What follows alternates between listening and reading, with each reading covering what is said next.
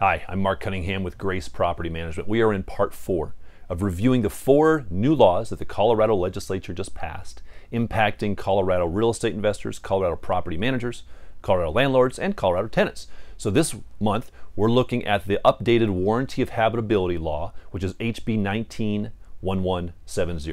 Now, this is a complicated, very convoluted uh, law. There are so many twists and turns in this law, so we're not going to be able to go into super detail, but we'll give you a pretty, pretty solid overview of this. We've been working with our attorney to figure this thing out because the way you read these laws are very, very complicated. But the overall view of the law is this there's already a, a warranty of habitability law in Colorado. There already is one. And for landlords to breach the old warranty of habitability law, a couple things had to happen. Number one, an item had to be included on what was called this 505 list. Why is it called 505? I don't know. A 505 list that the legislature put out. And this 505 list contained requirements for habitability. Things like, hey, if you're going to have a property, the windows have to lock, the doors have to lock, the heat has to work. Uh, big picture things, right? The plumbing has to work. There can't be running water. Standard habitability things that if those if the property doesn't meet the 505 list, it's considered uninhabitable. And then secondly, the landlord had to fail to address within a reasonable time, and that was the legal law. A reasonable time. Why? Well, because it takes a different amount of time to fix a non-working door versus fixing an air conditioner or heating unit that doesn't work. So it's a reasonable time. That was the old law. Well, that went away now. With the new law, it changes dramatically. Under the new law, a premises could now be considered uninhabitable if an item is on the 505 list, which we already know, or if the condition that makes the premises unfit for human habitation, a lot of room for, for interpretation there, or in any condition that materially interferes with the tenant's life, health, or safety, or mold that is not remediated would interfere with the tenant's life, health, or safety. Uh, that's a lot of things, but it gets more complex because that 505 list greatly expanded. So the 505 list now says appliances have been added, meaning if the dishwasher stops working, the tenant could co- claim the property is uninhabitable. Now, I think that's a stretch, but that's what the law says. So appliances are in there. Functioning appliances have to conform with this law as well, as well as additional things on this new 505 list. So guidance number three is this. When a landlord receives tenant's warranty of habitability notice, so the tenant receives, gives the landlord a notice of, hey, there's a warranty of habitability issue, the, the, landlord has to jump through a lot of hoops in a very, very, very specific and timely. And here's a quick overview. They have to respond within 24 hours after receiving the notice, number one. The response must indicate the landlord's intent for remedying the condition. In other words, what are you going to do about it, Mr. Landlord? Number three, the landlord has to provide an estimate when the remediation will begin. And number four, provide an estimate when the remediation will be completed. Now, this just isn't practical. First of all, you've got 24 hours. That means if the tenant sends an email at 12 o'clock midnight on Saturday night. The landlord has until 12 o'clock midnight on Sunday night to email the tenant back and say, hey, here's what we're going to do, here's how long it's going to take, uh, or here's when we'll start, and here's what it's going to get done. We oftentimes, as landlords, have no idea when these things are going to get done, depending on the significance of the problem. Right? If the dishwasher doesn't work, that's we know when that's going to get done. If it's a mold issue, as the tenant said, we don't know how long that's going to take. Do we just need to clean a wall or do we need to replace drywall? We don't know until the mold specialist can get to the property. That doesn't matter anymore. We've now have 24 hours to tell them how long it's going to take to start and how long it's going to take to get done. Impractical, not realistic, but it's the law. Number four, if the condition is caused by the tenant or somebody associated with the tenant, then it can't be considered a breach. So if the tenant caused the damage, then this, that, all this goes away from that extent. Number five, it mandates times for the landlord to commence action to avoid breaching. So, and again, here's where it gets tricky and sticky. But if it, that if the item is on the 505 list, we've got 96 hours to commence action. Otherwise, if it's an uninhabitable issue, we still have 96 hours. If it materially interferes with the life, health, or safety, we've got 24 hours to commence action. And if it's mold, we've got 96 hours, but it requires additional specific action. So let's look at the mold aspect. Now I know this is complicated, probably putting you to sleep, but it's important to make sure you know this stuff. As it relates to mold specific actions, you must within 96 hours mitigate the immediate risk, and this is their language, the immediate risk by installing a containment, stopping the active source of water to be mold, and installing a high efficiency particulate air filtration device to reduce the tenant's exposure to mold. That's a lot in there. This is a great law if you are a mold inspection company because now you have to go in and install all these things right off the bat. Additional things you must maintain the contained unit requirement remedial actions until remedial actions are executed. So you've got to put what you can in there until you can start full remediation. There's more. You have to establish an appropriate protection for workers and occupants. You must eliminate or limit moisture sources and dry all the material. Decontaminate or remove damaged material as is appropriate.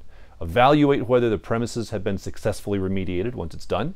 And then reasonably uh, the premises to control the source of moisture and nutrients and therefore prevent or limit recurrence of the mold. Now that's a mouthful, isn't it? And mold companies know what this stuff means. You may not know what it means, but we've got to make sure we're abiding by this. There's a little more. Number seven, if it's a life, health, or safety scenario, the tenant has the legal right to demand that the landlord move the tenant to a couple things. Number one, a comparable unit as selected by the landlord. Number two, a hotel room as selected by the landlord. Number three, at the expense of the landlord, so no expense to the tenant. However, the tenant still has to pay rent. So if this can't get fixed and the tenant has to go to a hotel room, the landlord must provide that hotel room at the landlord's expense. But while the property is sitting there vacant, the tenant still has to pay rent during that period of time. Now, the tenants also have a new right to deduct their rents to make the repairs under certain circumstances. And here it gets again very, very uh, sticky and very hard to follow this. But the tenant can potentially withhold their rent. They have to do they have to do a couple things. Number one, they have to provide a specific notice. Number two, the landlord must fail to commence the legally required remedial action. Number three, the tenant must then follow additional requirements, meaning the tenant must give the landlord another notice that says 10, it has to be 10 days prior to when their rent's due, and it has to say, hey, I know my rent's due in 10 days, but I'm hereby informing you that I plan on deducting from my rent the work that needs to be required to be done. The tenant's second notice, the repair of the deduct notice that, that uh, has to give additional specific requirements. It has to say this it has to include a copy of at least one good faith estimate of the costs to repair the issue and that estimate must be prepared by a professional who's unrelated to the tenant. So it can't be the tenant's brother who happens to be a plumber. It has to be a professional, and that, that uh, bid has to be submitted along with this other documentation from the tenant if the tenant is attempting to withhold their rent. Don't worry, it gets more complicated. Because after the landlord receives that 10 day notice to repair or deduct, the landlord has four days now to respond with its own estimate. If the landlord fails to respond within four days, the tenant then can proceed to deduct the rent until the entire amount of the estimate is deducted. If the tenant uh, repairs, they have to use a professional. They can't do it themselves and just bill for their time. Now, if the tenant is deducting rent based upon a malfunctioning appliance specifically, it gets more complicated because they don't have to repair it. They can just go buy a new appliance and deduct the entire cost of the appliance. They don't have to repair it. They have the option of purchasing a new appliance. Why? As the law says.